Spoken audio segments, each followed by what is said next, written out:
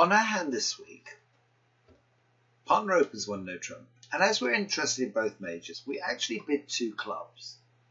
When partner goes two diamonds, we can rebid three spades to show we've got longer spades and a game going hand. So this is what you do against a partner who is playing 15 to 17. You want to be in a game going hand if partner's got the right cards. The opponents lead a trump, which is not great news, and you win the first trick with the nine of spades and you take stock. Presumably, when the opponents get in, all they're going to do is keep firing trumps at you, and then you've got to guess the clubs right.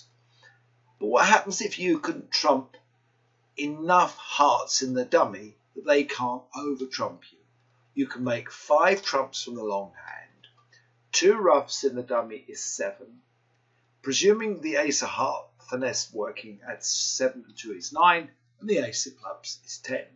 So we're going to do what most people like to do. We're going to play this hand on cross ruff lines. So after winning the first trick cheaply with the nine of spades, we're now going to take the heart finesse.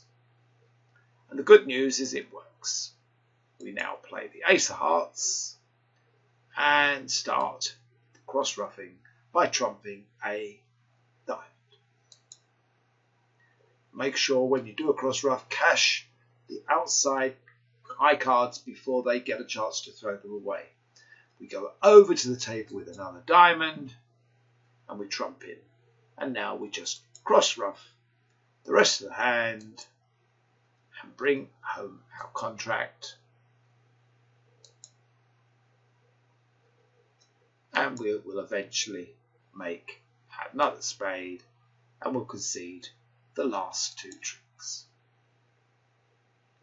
We eventually made five spades from the long hand, two hearts, ace queen, six, seven, ace clubs, a eight, and two heart ruffs, nine, ten in the dummy. And now I need to come clean. When I played this hand, I was going to play on those lines. I was quite stupid.